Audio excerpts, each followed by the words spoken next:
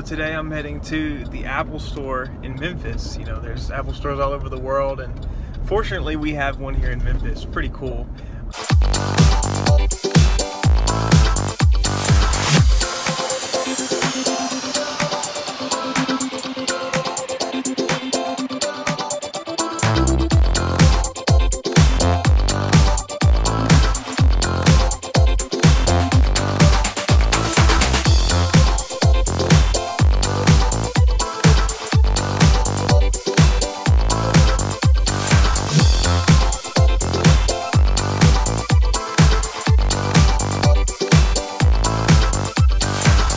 Heading into the Apple store. I'm kind of ashamed of my, my parking spot, but all that matters is that I'm in there.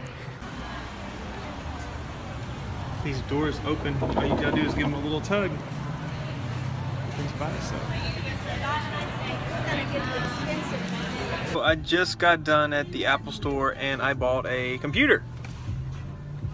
Let me see if I can find it back here in the back seat being safe because you know children newborns they you know they need to be put in the back seat where where they're safe so I keep it in the back seat.